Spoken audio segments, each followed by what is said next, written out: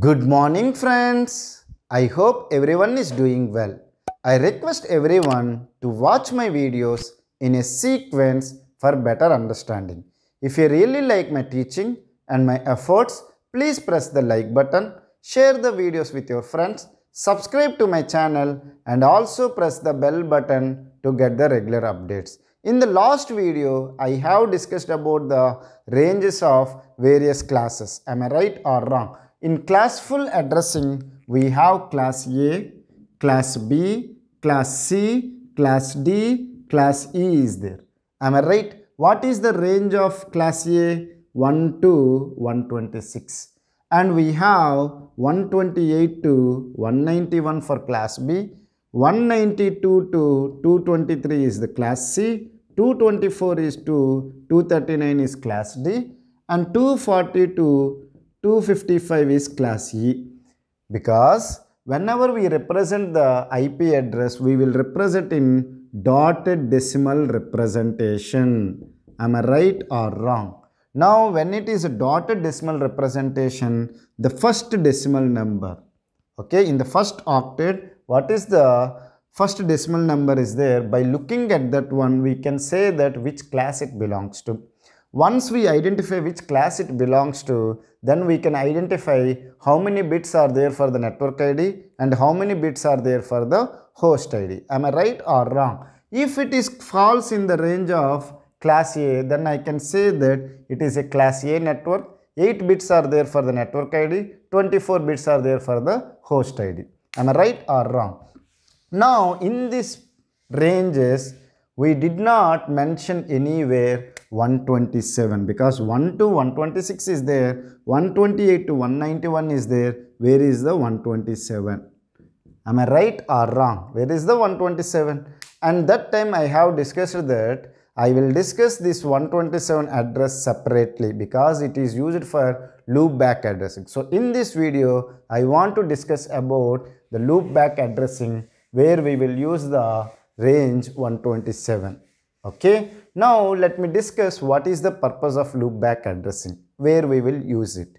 Now if I ask someone to check whether internet is coming or not, what he will do? He will open the browser and he will press google.com. If it is opening, then he will say that, sir, internet is coming. Else, he will say that, sir, internet is not coming. Am I right? Is it clear? But how you need to check? If you are, your net mission is A and mission B is there, okay, google.com or something, and you have a, between you will have a router, okay, some other routers, and then it will be connected. Now, if internet is not coming or the server is not responding, then what is the assumption? Your network interface card is not working. Even if your network interface card is not working, then also internet will not come. If the from your mission to the router, the cable is spoiled or this link is corrupted, then also internet will not come. Between these two routers, whatever the link is there, if it is damaged, also internet will not come. Between these two router and the destination B, if the link is corrupted also, then you will not get internet. Even mission B's network interface card is also not working, then also you will not get internet. Am I right? These are the various reasons. Maybe because of that one, your internet is not coming.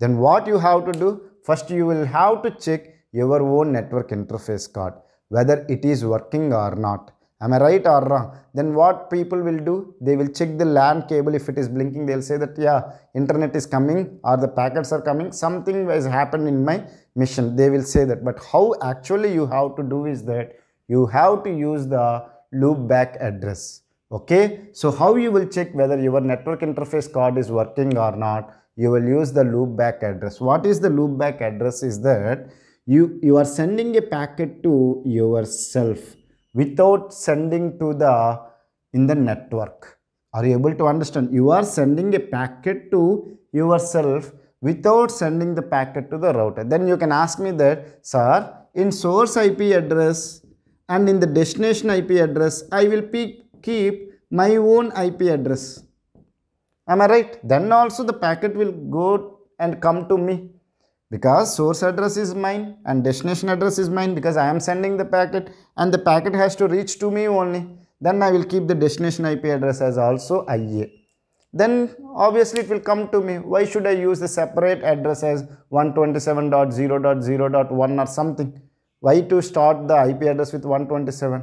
Now if you are using the destination IP address as your address, then what will happen? Can you tell me? The packet will go to the router. Then router will say that the destination IP address is belongs to A only and it will send. In that case, what is happening? Your packet is traversing in the network and coming back to you. But you don't want to send the packet to the network. It should go to you and come back to you. It should not traverse in the network. If you keep the destination IP address as also your own address, it will go to the router and come back to you.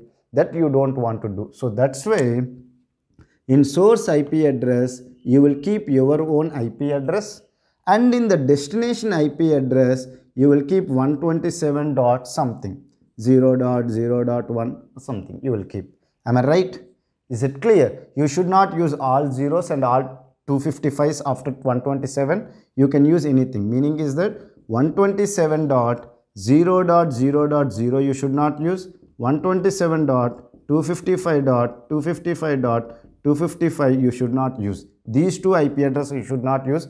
Other than this, any IP address you can use from the range starting from 127. Then what will happen? You can ask me, sir, source IP address is my IP address and destination IP address you kept it as 127.0.0.1. Then what will happen? This information is coming from A's network layer.